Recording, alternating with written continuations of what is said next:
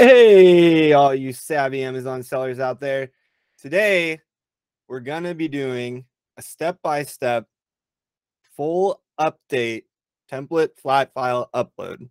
All right, I know that's a mouthful, and we really don't have a video showing step by step this process. Um, my name is Jason Master Mateo with my Amazon guy. This this is needed a lot of times when uh, you've ticketed Amazon, maybe your title's not changing, or you're doing a brand name change, or what have you, or your bullets aren't sticking. And finally, brand register seller support, they come back with the old, we need you to delete this for 24 hours and do a full update or an update, the template flat file. Uh, we call this a delete and relist or delete and full update. And we do it a lot here because um, it's effective it works most of the time. Sometimes it doesn't work and you have to repeat the process, but we're going to do that here today, today together. We're going to use that um, parentage test tumbler that we made with the step-by-step -step last time. So let's get going. All right. So here's our little test parent that we made last time and um, I want to change the title. I tried changing it. It's in the back end. It's just not reflecting the PDP. Ticket Amazon. They tell me I have to delete and relist. Oh no. All right. Now I'm scared, right? Don't be scared. Common process. Um, and we're going to get through it together. First thing you're going to need is your category listings report. So to get that, we're going to go into our uh, console here and then go to reports inventory reports. And right here, we're going to look for the category listings report. If this isn't here, sometimes it's not, all you have to do is open a support ticket. We'll do it real quick. Um, open a support ticket to help and scroll down, click get support, selling on Amazon. Just say, please enable the category listings report, click continue, click my issue is not listed, click account related, continue. I don't have an identifier, continue, and email, send. And it usually takes them a couple, you know, maybe 15, 20 minutes usually, but and then it will pop up. It will tell you that the category listings report is now available. It should be available on all accounts, but I have uh, heard some feedback that uh, some people do not have it uh, enabled yet. So once we have our category listings report, again, we're going to go to um, enabled, sorry. Uh, we're going to go to reports. We're going to go to inventory reports. And we're going to click this little thing here. It says category listings report. And we're going to click request report. I had already requested one earlier, so we're just going to download that. And it will look like this as soon as Excel opens. There we go. Oh, wow. What a bunch of stuff, right? Well, we're only fixing um, two children and a parent. We don't need all this stuff. So uh, what I did was uh, search find and found our three SKUs. Um, and it took a while because there's a lot of products in here. So I cleaned up the uh, file already, but I basically deleted everything that we're not working on. So um, maybe somebody that's more technical like Excel uh, has a better way to do this, but this is what I did, um, except for the three SKUs we'll be working on. And it turned into this. Here's the three SKUs. So once you have your three SKUs and you've deleted everything else, this is going to be the file that you're going to be working in. You can actually work in the CLR that was um, that was downloaded. So on a full update, the difference between a partial update is we have to make sure all of the information is in here. Um, it will override, oftentimes even deleting pictures if you don't put the image link in there. So we want to make sure every column is filled out here for our product that is relevant. Now, the cool thing about the CLR is mo most of it is going to be already in here, which is nice, right? As long as you uh, had it in the back end before, it should be in here. But there are some things missing and some things that we need to change. Um, so you'll have your CLR, your category listings report, And a lot of this is already going to be filled out for you. So that's the cool thing about uh, working this way. One thing we need to change here is the product ID. Remember, if the ASIN exists on Amazon and you're doing flat file uh, work, always use the ASIN. Don't use the UPC or the GTIN or the EAN or anything like that. It causes issues and um, it's just better to use ASIN. So we're going to switch all these to ASIN. You'll notice the parent does not have the ASIN there, so we want to make sure we put that in as well. And we're going to delete these numbers and we're going to find the ASINs. So let's go to our little thing here and go to inventory, manage all inventory, and find your product. Here's our little test parent. And here's our, oh, hold on one second. There we go. Here's our parent ASIN. Pop that in there. Parents at the bottom. There we go. Here's our blue tumbler. And we're going to pop that where the blue tumbler is. And here's our white tumbler. Pop that in. And we can go back to our full screen on our file. Item type keyword is already there. It's correct. It should be on yours as well. If it's not there, um, it's uh, it's going to be in your um, back end here um, on your product. So item type keyword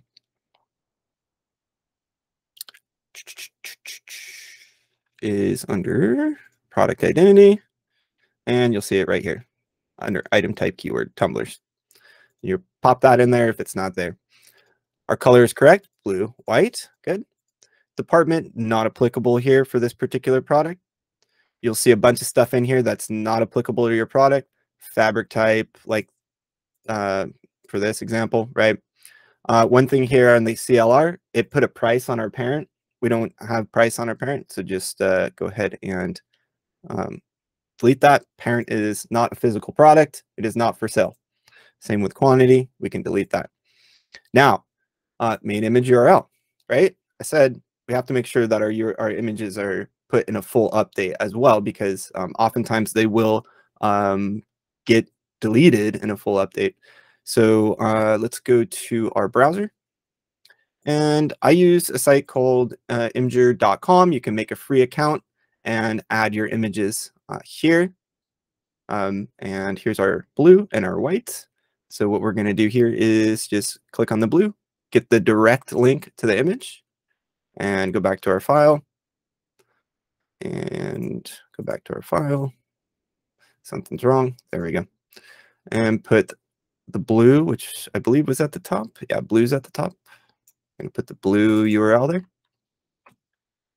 And we're going to put the, we don't want the uh, actual, there we go. I don't want it to be a link. I don't know why I did that, but let's go back to Imgur and get the white one. And the white one is right here. Get the direct link and copy that in. And do that. There we go. Okay, let's continue down the line here. So we've got target gender, age range, um, description, and let me uh, cough real quick.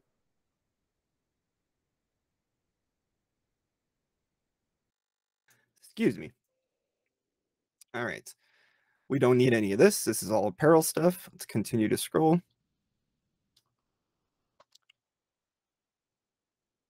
I don't know why my scroll is not working. There we go. And we'll have our style number there. I just used the SKU as the style number. Um, size, size is 30 ounce. Again, category listing report did a lot of the work for us. All we're doing is double checking and making sure there's no missing information. Uh, CPSIA warning, uh, not applicable, etc., etc.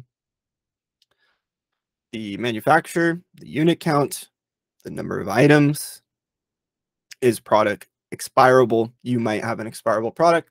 Make sure that this is filled out, yes, um, with that information, but it should already be there on this uh, category listings report. Continue to go down your product description, your part number, if applicable, your key product features. These are your bullet points. Now, again, full update. If you leave this blank, these are going to get wiped out.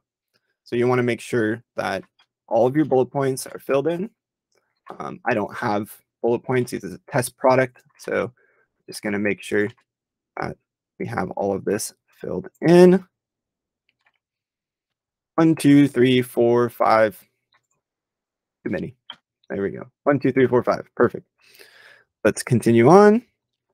Included components, key product features, etc., etc. And whoa, okay.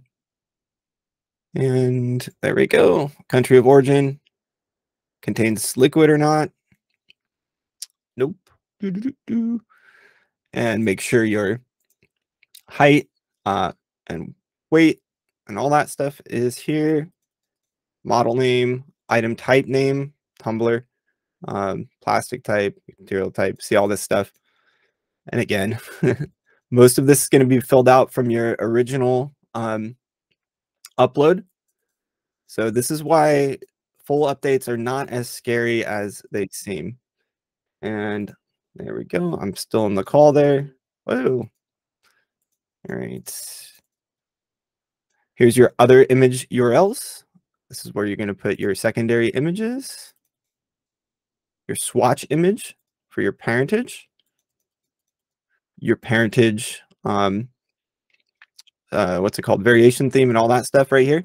And this is all correct. Again, the CLR did all the work for us. And here's the dreaded change. We're going to go to update, update, update. Continue on. Your search terms, those will get wiped out if you don't put them in there. Make sure your search terms are in there. Again, I didn't have any search terms in here. Um, I'm just going to put cup so we can move on here. Make sure you have your search terms in there. All right, style, theme. Do, do, do, do, do. All this stuff we don't need. Ha, that's a funny one. Look at that. There's like golf information in here. Shaft style. Hand orientation, lens material. Lots of stuff you don't need. Power source is assembly required. Continue on, continue on, continue on. all this stuff that we don't need. and then here's your um, item display weight. Uh, make sure that's all in there. Capacity, your item height, unit of measurement, all that stuff. And very important at the end there for your fulfillment center ID, as we talked last time. These are both fulfilled by merchant, so you're going to put default. But um, if they are FBA, make sure that they're Amazon NA. So it's not that scary, right? Look at this. Everything's all filled out for you. All we had to do was change a couple things, add our image, our, our image links, and change these to ASIN. And now we're ready for a full update. And we just pulled this all from the category listings report. So we're going to save. And we're going to go back to our, um, I don't know what's going on with my, Let's see here. What is going on here? Okay, I fixed the little computer issue. Continuing on here. Share my screen. And here we are. We saved our file. And uh, now's the time where, you know, seller support said, hey, you need to delete this for 24 hours and then do a full update. So this is where a lot of people get scared. They're like, oh, if I delete my product, I'm going to lose my reviews and all that stuff. No, the, the ASIN is forever. All you're doing is fixing some sort of data problem uh, with Amazon's catalog. Um, yes, you're going they're going to be gone for 24 hours, so you're going to lose out on sales. Your you know your BSR is going to get affected for sure. It's not online for 24 hours, but um, if it's an important update that this is required for, then you know you're going to have to do it. Um, so the reason we have to delete for 24 hours is uh, you'll get an error on your SKUs for uh, trying to re-upload them on a full update. uh, oftentimes before that. And that's why Seller Central requests. So we're going to delete. So here we go. Delete. We're going to select the three here. Going to go up to the top and click delete products and listing. Oh no. Oh, you sure? Yes, I'm sure. Oh, are you really sure? Yeah, I'm really sure. Yes. Okay. Oh, we did it. Okay. Now we have to wait 24 hours. So what should we do? Well, it's Saturday, so I think I'm going to go get my car washed. But once the 24 hours are complete, we're going to go to our inventory, our catalog, excuse me, add products via upload. And we're going to click upload your spreadsheet. We're going to drop our CLR file that we made into here. If there's any egregious errors, they will show up right here. Uh-oh. Fields with invalid valid values or formatting, material type, color map, relationship type, variation theme, product care instructions. What? Oh no. Six errors. Um nah. Should be fine. You can um upload files with errors. Um there's warnings and there's errors. And I'll show you what a uh, uh we don't want to upload this one right now, but we'll go to our upload statuses. We'll find one that had an error. This one from this morning. I think it's the same one when I was testing this. And when you click that download processing report, you'll get this feed processing summary. And you'll see all these crazy errors and stuff. This one is the one that was telling me the parent had a had a price. Remember, we changed it to nothing. But this file still went through. See a count of errors and warnings. Number of records processed is what you want to look at. Flat files will process and um, go through um, with all, any number of errors a lot of times. The ones that really uh, push you back are the dreaded, you know, um, UPC GS1 errors. If you had bought your UPCs on eBay or something like that years ago and they're not um, registered to your brand through GS1. Seeing that a lot now. So we're getting a lot of UPC to GS1 changes. But um, again, this this file that we created, we pulled exactly from um, the CLR and we just changed a few things here. This will upload fine in 24 hours. So that is how you do a delete and full update the easy way. There are some people that create the raw file over again instead of using the CLR, but we know that the CLR, we can use it. Um, so there it is. I hope this video helps everyone out and have a wonderful day.